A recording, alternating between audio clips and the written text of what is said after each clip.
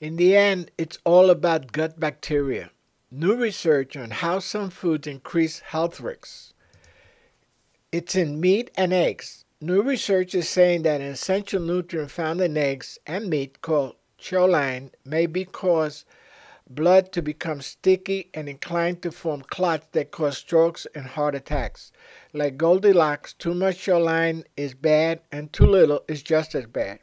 In recent research giving volunteers more than the recommended choline of 550 for men and 435 for women showed that their blood was much more likely to form clots was reported in the journal Circulation. What is MTAO? The report goes on to say that MTAO, a compound called trimethylamine N oxide, rose greatly supercharging platelet function and making them more sticky. The report is suggesting that the more TMAO in your blood causes changes in your platelets. It was recommended that you should avoid supplements with choline unless prescribed by a physician. Here's an article came out October 19, 2016 in Health Daily News. People with peripheral artery disease and narrowing of the arteries in the legs and elsewhere who eat a lot of red meat and eggs may have increased odds of dying early, as the new study suggests. That's because of a digestive byproduct produced by gut bacteria that breaks down eggs, red meat, and other meat products found in the traditional Western diet, the researchers said.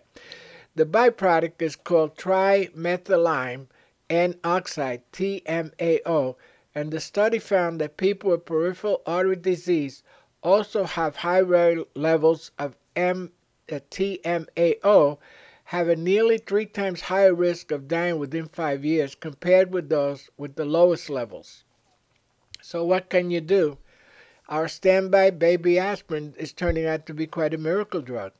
Your daily regimen of baby aspirin may have the added benefit of reducing TMAO. Low dose aspirin may help by altering the makeup of your gut's microenvironment. Your gut's bacteria is important in your body's fight against obesity and infections. Commercial probiotics, commercially available, have not been proven to work on your gut's bacteria. So, you know, it's still a good idea to uh, eat uh, uh, yogurt because that's a product that works in your body. But commercial probiotics, they're quite expensive, may not be doing what you think they do.